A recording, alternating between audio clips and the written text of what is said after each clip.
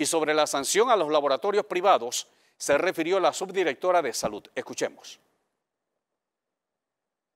Todo aquel laboratorio, señores, privado, que no esté informando la documentación al Ministerio de Salud, que es el máximo regente de la salud pública, va a ser cerrado. Hoy están cerrando varios y eso lo vamos a estar haciendo todos estos días. Igual vamos a estar en la calle. Estos son ministerios que tienen el aval, pero no están informando en las 48 horas como está establecido, reportando las pruebas.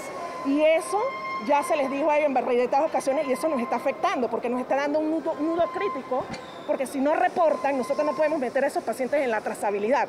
Y si no entran en la trazabilidad, no le podemos dar el soporte vital de visita domiciliaria y darle eh, los, concentradores de oxígeno que muchos pacientes necesitan para no llegar a a una unidad de cuidados intensivos.